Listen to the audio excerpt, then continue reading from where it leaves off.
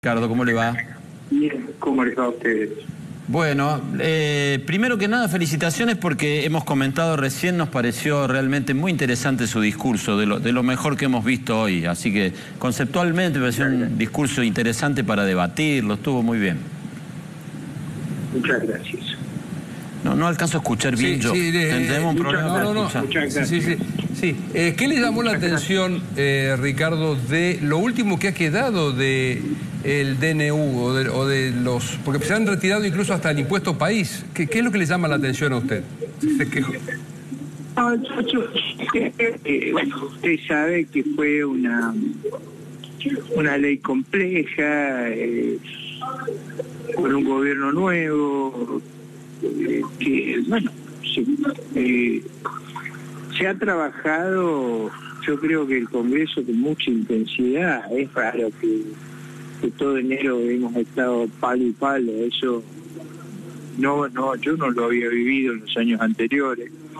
Y, creo que todos estamos haciendo un esfuerzo de pulir eh, errores y problemas. Y me parece que parte de, de las correcciones son debido a eso.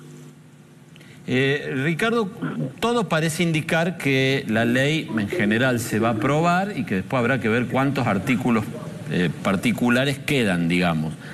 ¿Qué, sensación le da a usted de cuando se termine de votar todo, qué ley va a quedar? ¿Una ley muy licuada, fuerte, que garantiza qué cosa futuro? ¿Cómo lo ve? Bueno, yo creo que va a haber un proceso, si usted quiere, diferente del que imaginó el Poder Ejecutivo. Pero creo que más allá de eso, eh, se logró que el Congreso funcione razonablemente. No se olvide que este gobierno tiene 10% de los senadores y 15% de los diputados. Nunca ocurrió algo así. No, era, era un desafío que funcionara razonablemente. Ahora, necesariamente parte de lo que llamaríamos la oposición, llamémosle, o decimos oposición genéricamente, porque en realidad son bloques de partidos que estaban ideológicamente más o menos cerca en cuanto a las propuestas y demás, necesariamente tienen que, de acá y durante los cuatro años, si el gobierno más o menos enfila para un lado que ustedes no les parece mal, respaldarlo porque si no, no puede gobernar, no, no es imposible. Tiene razón. Es el problema más serio que había, y yo lo mencioné mucho en la campaña electoral. O sea, en la campaña electoral era muy claro que que, la clave era que, que tuviera una victoria junto con el cambio y tenía la estructura para gobernar.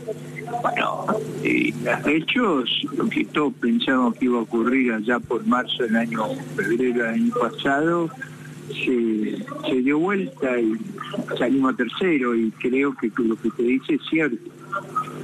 Hay una estructura de representación que, que no es un correlato del, del Poder Ejecutivo y eso es de una gran complejidad. Pero bueno, creo que todos nosotros vamos a hacer un enorme esfuerzo de dar gobernabilidad e institucionalidad al país y es lo que debemos hacer. Sí, Ricardo, usted hoy marcó dos cuestiones que me llamaron la atención. Primero dijo algo y me pareció que en sentido crítico, constructivo, de lo que es la función del Banco Central, por un lado, que pareciera que hoy por hoy no la está cumpliendo cabalmente de acuerdo a su ideario, a su pensamiento. Y lo otro es que se sorprendió por el tema de que, se eliminaran de este paquete los, eh, mejor dicho, no que se eliminaran, sino que el gobierno planteara aumentar los derechos de exportación. Sí, yo creo que la Argentina, si va a tener salida, con un boom exportador, como le ha pasado a todos los problemas que vivieron la crisis como el nuestro. Eh, Argentina hace 20 años que no crece en la exportación en volumen. Fíjese, el kirchnerismo fue un horror a pesar de tener precios increíblemente favorables. Ahora, eh, yo creo que en eso no podemos esperar el futuro. El país está estancado hace muchos años, más de 20 años. Necesitamos para salir una revolución exportadora. Sin eso no tenemos financiación posible. No podemos seguir viviendo pasando la gorra como hacía Alberto Fernández. ¿Se acuerda cuando iba a cualquier reunión y sacaba la gorra y pedía plata? me dio... Eh, eso, no, eso no es razonable. Me dio la sensación que usted, en cuanto al tema de cepo cambiario y, de, y del cómo está, está, manejando tipo cambio el gobierno, no lo dijo así, pero por eso le pregunto, lo, ve un poco lento al gobierno en esto, ¿puede ser? Yo creo que cuanto antes nos normalicemos mejor. Y yo no creo que un sistema normal este, el cepo de las previsiones, de hacer un delito la compra de, de moneda. Piense que en Uruguay, Brasil, Paraguay, Perú, Chile, no ocurren esas cosas. No ocurren en México, no ocurren en Centroamérica, no ocurren en ningún lugar del mundo. Va, Venezuela, en lugares que usted mejor perder lo que encontrar. Entonces digo, esto no es razonable.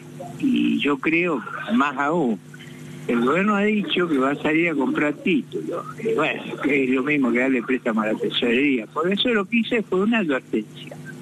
Como le hice en materia presupuestaria, no se puede gobernar sin presupuesto.